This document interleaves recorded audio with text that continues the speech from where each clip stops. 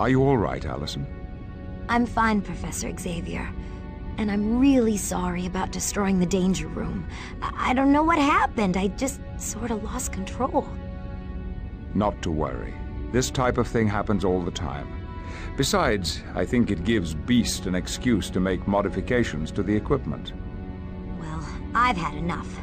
I'm never setting foot in the danger room again. I understand this was a very trying experience, but at some point you must try again. It's the only way you'll learn to master your powers. But I won't need to learn about my powers if I never use them again. That wouldn't be a wise course of action.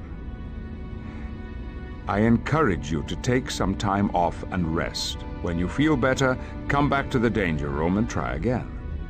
I don't know, Professor Xavier. Let me think about it.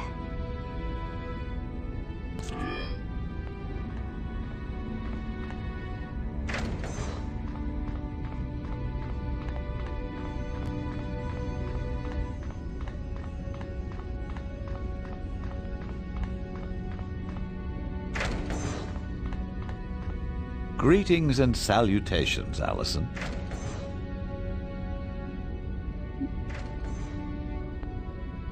Are the X-Men always jetting off to stop trouble, like they did for me today? No, but there are times when trouble seeks us out, right here at the mansion.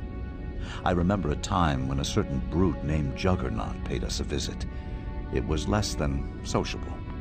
What happened? Juggernaut's mind was set on murder that day. The murder of his brother. Thanks for talking to me, Beast. It's been a pleasure, my dear.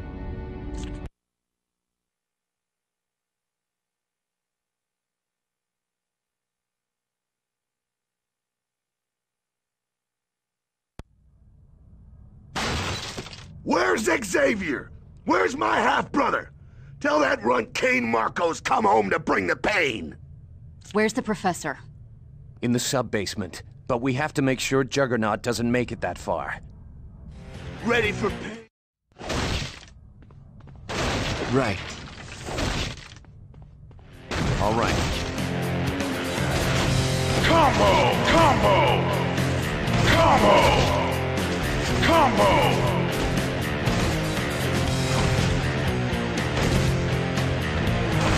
Yes. Combo! Combo!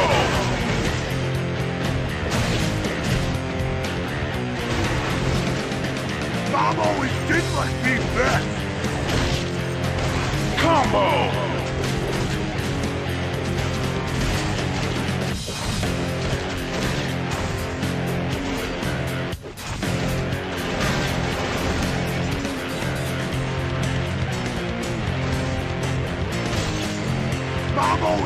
Always did like best! You bet.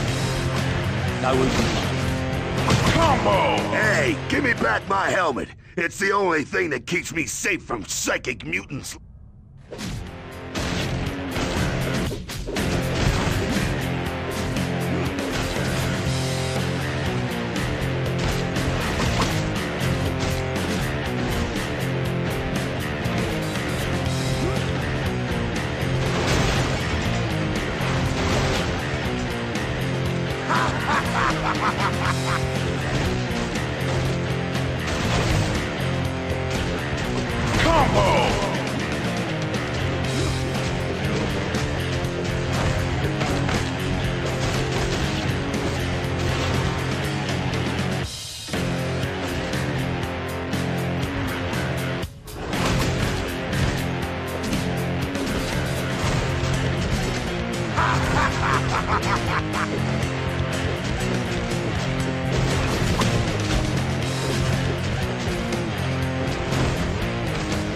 Need more power to do that.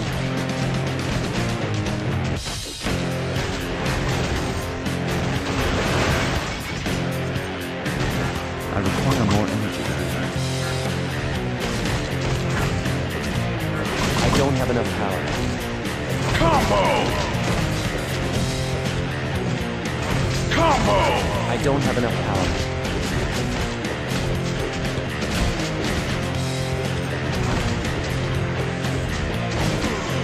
Consider yourself defeated.